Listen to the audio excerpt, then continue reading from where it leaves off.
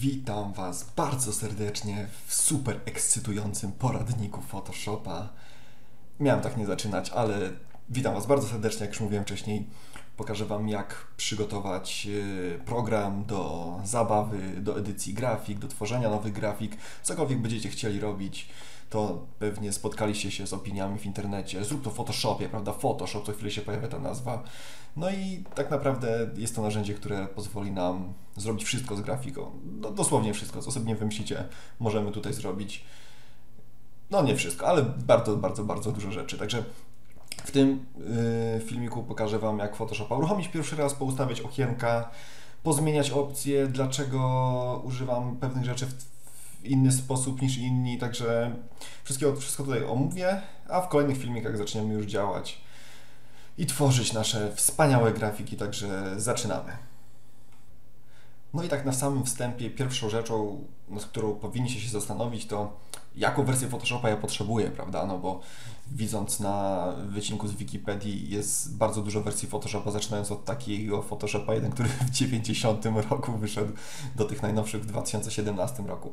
I tak naprawdę yy, zaczynając od Photoshopa CS4 w górę do tego najnowszego, yy, będziemy wykorzystywali podstawowe narzędzia, czyli nie musicie mieć najnowszej wersji Photoshopa z 2017.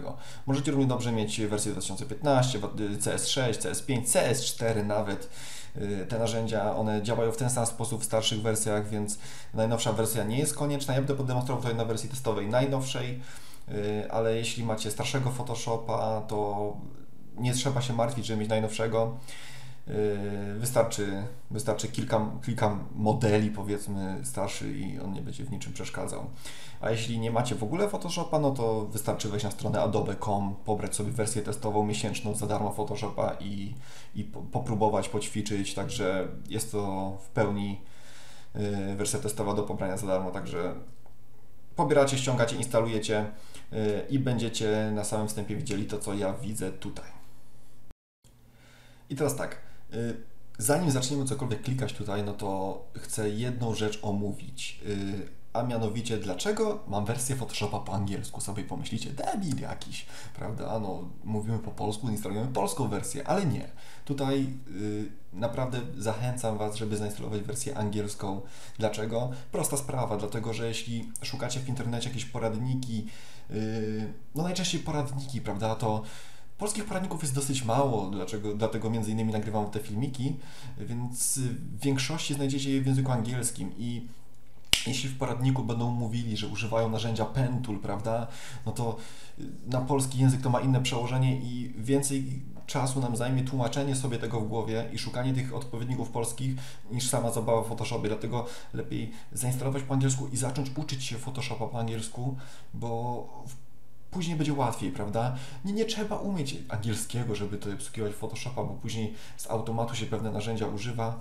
Yy, I, i, I, no, to jest pierwsza rzecz, która wydaje się może dziwna, ale jak najbardziej bym tutaj polecał zainstalować wersję angielską. My na angielskie będziemy pracować, będę tłumaczył, co to wszystko oznacza, yy, więc nie bójcie się tego, y, każdy zna angielski, każdy zna podstawowe słówka jak new czy open, prawda? No, wielkiej filozofii tutaj nie ma, dlatego wersja angielska jak najbardziej polecam zainstalować, ponieważ więcej materiałów znajdziecie do wersji angielskiej w internecie i nie będzie trzeba się bawić y, w jakieś niepotrzebne tłumaczenie. Ok, teraz kiedy już mamy zainstalowanego Photoshopa, mamy go Photoshopa po angielsku, to pierwszą rzeczą, którą musimy, którą powinniśmy zrobić tak naprawdę, to jest stworzyć swój taki tak zwany layout, czyli e, jakie okienka będą widoczne, jakie narzędzia będą widoczne na pierwszy rzut oka. E, ten domyślny layout to jest coś takiego, coś takiego powinniście widzieć u siebie, ale my to przerobimy na nasze potrzeby, tak żeby nam się pracowało później łatwiej żebyśmy nie szukali niepotrzebnych y, narzędzi, które tutaj nam zawalają albo czegoś brakuje, więc zacznijmy sobie tutaj od y, troszeczkę poprzestawiania tego. Teraz tak, okienko Libraries. To okienko przeciągamy, X niepotrzebny nam w ogóle. Color swatches zostawiamy, może się przydać, możemy sobie zmniejszyć to okienko. Properties Adjustments. To jak najbardziej może nam zostać, yy, ponieważ będziemy w grafice rastrowej używali tego dosyć sporo, więc to sobie zostawimy. Y, tak naprawdę No ok, niech zostanie. Yy, teraz tak, poniżej mamy layers, channels, pass, pass, pass, pass, pass, nieważne. Yy, zamykamy sobie tak, ścieżki sobie wyłączymy, kanały sobie wyłączymy i tutaj mamy taki przycisk historii. Historię proponuję sobie wrzucić tutaj obok layersów, czyli mamy layers i historię. Warstwy, warstwy omówimy w innym filmiku, nie musicie na razie wiedzieć, co to oznacza. Ważne, żeby tu było, bo tak naprawdę to jest kwintesencja Photoshopa. Tutaj mamy jakąś ikonkę, którą w ogóle nie potrzebujemy i mamy troszeczkę to uproszczone. Teraz tak, dodajmy sobie panele, których nie mamy tutaj. Wchodzimy w Window i tu mamy listę paneli, które mamy widoczne z haczykiem lub nie mamy bez haczyka. To, co będzie nam potrzebne, na pewno brush, czyli pędzelek. Pędzelek sobie otworzymy w formie ikonki, klikamy, rozwija się, klikamy, chowa się, tak żeby nam nie grać siłę ekranu, no bo po co nam to? Wystarczy ikonka. Jak będziemy potrzebowali, klikniemy sobie. Wchodzimy w Window. Co jeszcze będziemy potrzebowali? Na pewno będziemy potrzebowali charakter, czyli pisanie. Będziemy dużo pisać, yy, więc jak najbardziej edycja, czcionki, wielkości i tak dalej będzie nam potrzebna, także sobie to zostawiamy. Co nam jeszcze będzie potrzebne? Histogram. Histogram y, może być potrzebny, choć nie do końca. Na razie, na razie sobie go nie odpalajmy. Będziemy potrzebowali, to sobie go odpalimy ręcznie. Teraz wydaje mi się, że to, co najważniejsze, mamy otwarte, prawda, o wiele mniej niż było domyślnie, ale nie przejmujmy się tym, będziemy czegoś potrzebowali, otworzymy sobie ręcznie to, co jest istotne, żeby mieć jak najwięcej pola tutaj do, do działania na środku, te panele po bokach y, w miarę jakby mm, poszerzania swoich umiejętności będziemy tutaj rozszerzać czy edytować. To, co jeszcze warto zrobić, to przy Layers kliknąć sobie te tutaj trzy kreseczki i wchodzimy w Panel Options, żeby edytować opcję panelu Layers. Y, proponuję Wam ustawić y, podgląd miniatury na największy, żeby też tutaj nie było niedomówień i layer bounce, czyli ta ikonka mała, która będzie tu widoczna przy każdej warstwie, będzie reprezentowała to, co faktycznie jest na tej warstwie, a nie calusieńki nasz dokument. Y, możecie tego nie rozumieć na początku, ale później wszystko się wyjaśni. Także duża ikonka Layer Bounce, klikamy OK i ustawienia są zapisane. Y, teraz tak, fajnie by było zapisać sobie ten nasz cały schemat, ten nasz layout, y, czyli klikamy Window, Workspace, y, New Workspace. Nazwiemy to nasz tutorial 1. O, wykrzyknik 1. Zaznaczymy sobie, żeby nam zapisało wszystko, klikamy Save i mamy to zapisane. Także teraz możemy sobie kliknąć Workspace, przejść do tego który mieliśmy mm, domyślnie, ten, prawda? I możemy sobie teraz kliknąć Workspace, Tutorial 1, wszystko nam wróci do tego, co ustawiliśmy. Także można sobie później stworzyć kilka takich schematów i pomiędzy nimi przełączać w zależności od tego, co będziemy tworzyć i co będziemy edytować. Teraz, kiedy panele mamy już ustawione, pozostaje nam jeszcze zrobić kilka rzeczy.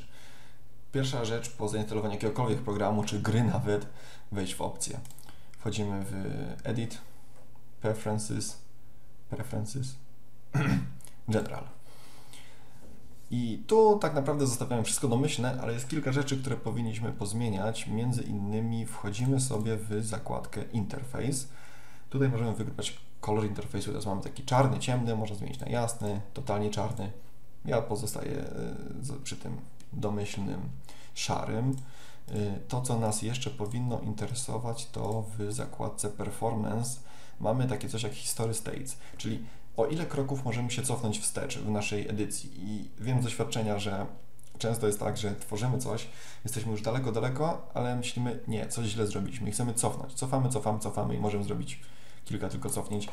Dla bezpieczeństwa to dużo pamięci nie zajmuje, zmieniamy tutaj na 200, czyli możemy sobie cofać bardzo daleko wstecz. Y, Scratch Disks to jest y, informacja, na jakim dysku na naszym komputerze Photoshop ma zapisywać y, wersję roboczą dokumentu, na którym pracujemy. Czyli jeśli tworzymy jakiś wielki plakat, który zajmuje mnóstwo pamięci i mamy mało pamięci na przykład na dysku C, a dużo na dysku D, warto tu zaznaczyć oba dyski, ponieważ jeśli na dysku C skończy nam się pamięć, to będzie zapisywał na dysku D, więc dzięki temu nie dostaniemy takiego powiadomienia, że brak miejsca i nie możemy dalej pracować. Także proponuję zaznaczyć obydwa dyski. Jeśli mamy miejsca du dużo na innym, to też zaznaczamy ten inny jak najbardziej. Y, to, co nas jeszcze powinno interesować, zobaczmy. aha, jedna rzecz. W performance mamy coś takiego jak Graphics Processor Settings. Jeśli mamy w komputerze bardzo dobrą kartę graficzną, y, to zaznaczamy sobie Use Graphics Processor, czyli y, karta graficzna będzie nam renderowała, czyli y, jakby poniekąd obsługiwała to, co robimy na komputerze. Nie wszystko będzie zrzucone na procesor, tylko też grafika ruszy do pracy, co usprawni nam działanie tutaj w tym naszym Photoshopie. I tyle, tak naprawdę więcej nie trzeba zmieniać. Domyślne ustawienia jak najbardziej nam wystarczą. Potwierdzamy OK i mamy gotowe. Jedną z ostatnich rzeczy, jakie jeszcze powinniśmy sobie zrobić, zanim zaczniemy tutaj pracować, to jest y, takie, może na sam początek ułatwienie, y, żeby podświetlić sobie niektóre opcje w menu, tak żeby za każdym razem nie szukać, gdzie jest dana opcja, y, z tych, których najczęściej korzystamy. Czyli wchodzimy sobie w Edit, menu i tutaj szukamy opcji, których najczęściej używamy. Pokażę przykład. Na przykład szukamy Save As, czyli zapisz jako. Kolor zmieniamy na zielony. Za chwilkę pokażę, co to oznacza, ale poustawiamy i zaraz będziemy widzieli. Y, zjeżdżam sobie wyżej. Edit. Co my tutaj mamy? Na pewno bardzo często będziemy używali czegoś takiego jak transform. Też sobie ustawmy kolor jakiś, na przykład zielony. Y, zamykamy. Image. W image będziemy bardzo często używali opcji Zobaczmy sobie tutaj. Image. Będziemy używali bardzo często opcji canvas size, czyli rozmiar tej przestrzeni roboczej. Znajdźmy sobie coś takiego tutaj. Yy, canvas size na zielony. Yy, w layer na pewno będziemy szuk często szukali opcji czegoż tu będziemy robili często. Tu chyba nic nawet type needs select y, inverse. To jest opcja, którą bardzo często będziemy używali, dlatego znajdźmy sobie tutaj select inverse na zielono. Y, select modify na pewno będziemy też bardzo często używali. Y, filter. Filtr zostawimy sobie. View zostawimy sobie to, co jeszcze mnie interesuje, to będziemy apply image używali dosyć często, czyli przewinę sobie do góry do y, zakładki image i tu powinno być apply image. Y, co to znaczy? Tak jak mówiłem wcześniej, nie będę teraz tłumaczył, klikam OK i teraz jak sobie klikniemy na file, to widzimy, że na zielono mamy podświetlenie Save As. Może zielony to nie był trafny kolor, ponieważ się troszkę to zlewa z tym menu, ale już nam da pojęcie, prawda, gdzie mamy sobie szukać oczami, żeby to szybciej nam praca trafiła, yy, trafiła, żeby praca nam szybciej pracowała. Yy, image size, apply image, prawda, layer, modify, inverse. Bardzo fajnie. Nie jest to konieczne, ale jak mówiłem wcześniej, na sam początek yy, zauważycie, że po kilka razy będziecie szukali danej opcji w menu, prawda? Gdzie było to deselect, prawda? No i szukacie, przejeżdżacie te opcje 5000 razy, co sprawia, że tracicie czas niepotrzebny, a tak będzie podświetlone, łatwiej traficie sam, sam build, prawda, do pracowania, więc y, warto sobie to ustawić. No i teraz, kiedy już wszystko sobie ustawiliśmy, zainstalowaliśmy Photoshopa, ustawiliśmy, język jest domyślnie ustawiony, angielski, hehe, y, Panele sobie zrobiliśmy, menu sobie ustawiliśmy, ustawienia, ustawień sobie zapisaliśmy. Jesteśmy teraz gotowi do pracy, możemy tworzyć, edytować grafiki i cała praca będzie nam płynniej przepływała. W ogóle to nie jest po polsku, ale co tam. Y, będziemy pracowali bardziej efektywnie, y, nie będziemy się denerwowali pierdołami prawda, myślicie sobie ten filmik niepotrzebny, prawda, Alan, dawaj tutaj jakieś zarąbiste filmiki, jak zmieniać, nie wiem, kolor oczu, czy jakieś inne pierdoły, ale y, to jest ważne, prawda, żeby sobie to ustawić, a nie później y, denerwować się, że, że czegoś nie ma, że czegoś tam brakuje, że będziemy szukali czegoś pół godziny, także poświęćcie te głupie 10 minut, ustawcie sobie te opcje i po tym możecie sobie y, pracować już o wiele łatwiej i też będziecie widzieli, dlaczego ja mam tę opcję otwartą, a, no i tyle, nie? Prawda? Będzie się łatwiej pracowało. Także to tyle w tym filmiku. Mm, poustawiajcie sobie te opcje proszę i zapraszam Was do innych filmików, gdzie będziemy już robili faktycznie y, zarąbiste grafiki i na pewno Wam się spodoba, także polecam i do usłyszenia.